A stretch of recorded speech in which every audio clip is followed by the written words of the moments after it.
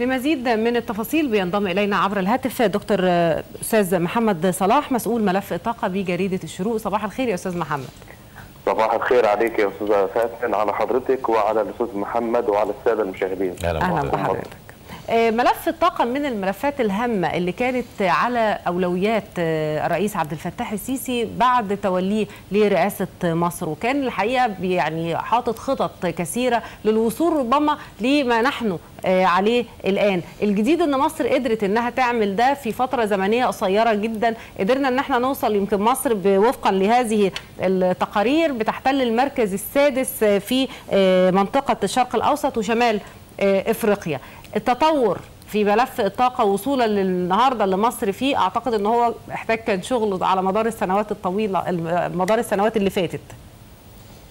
طبعا يا أستاذ فاتن إحنا لو هنتكلم مصر طبعا خلال خلال 2021 قفزت ما يقرب من 8 مراكز في مؤشر التحول الطاقه العالمي. إحنا عام 2020 كان ترتيبنا 84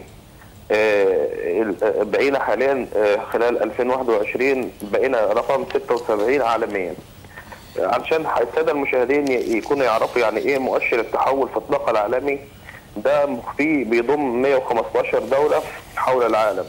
ده بيتضمن الاستدامة وبيتضمن البنية التحتية للطاقة وطبعا بيتضمن معدلات الأمان والإتاحة والاستدامة البيئية والاستثمار لو هنتكلم على قطاع أي إطلاق بشقيه إذا كنا هنتكلم في قطاع الكهرباء قطاع الكهرباء وقطاع البترول كان هما الاثنين بدعم القيادة السياسية كان هما الاثنين يعتبروا فرس الرهان أو الحصان الأسود.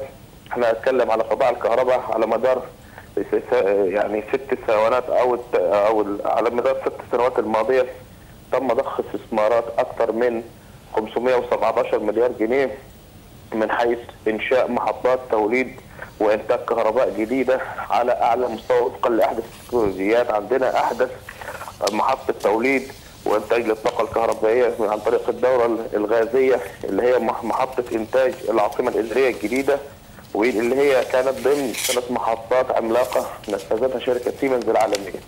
النهارده لو هنتكلم في خطة كبيرة جدا جدا جدا لأول مرة في تاريخ قطاع الكهرباء المصري خطة تطوير وتحديث شبكات النقل والتوزيع اللي هي كانت تمثل صداع مزمن في الدولة المصرية وكانت تمثل عبء وشكوى دائمة من المواطن المصري. النهاردة مفيش أشب لا في عندنا القطاعات تكاد تكون غير موجودة بالمرة.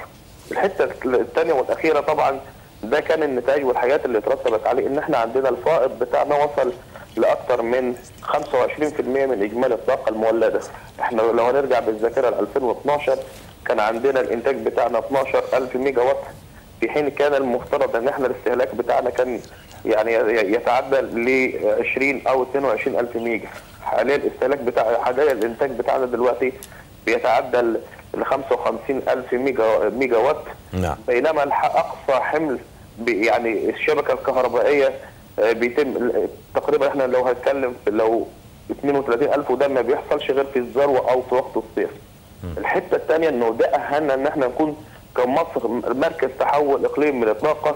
إحنا النهارده مصر قادرة على الربط الكهربائي مع دول الجوار سواء دول عربية أو من ثم الدول الافريقيه واللي بدأنا فعليا بالسودان وبدأنا فعليا ونجحنا في إتمام الربط الكهربائي خلال المرحلة الأولى واللي مفترض إن شاء الله هيتم خلال عامين إن شاء الله يعني زيادة الربط الكهربائي مع السودان الشقيق. ول 400 ميجا أو 800 ميجا بالإضافة لزياده الربط الكهربائي مع ليبيا أو مع نعم.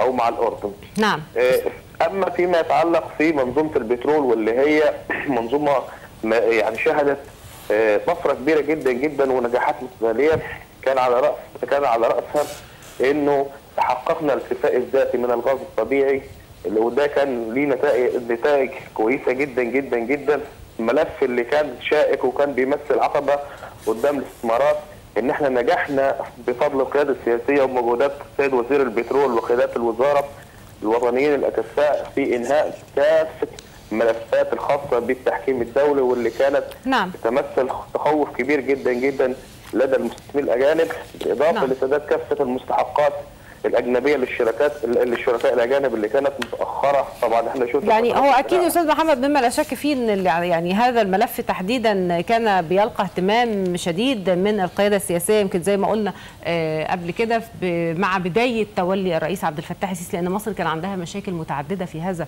آه، الملف تحديدا. أنا بشكر حضرتك جدا أستاذ محمد صلاح مسؤول ملف الطاقة بجريدة الشروق. شكرا جزيلا على هذا الإيضاح.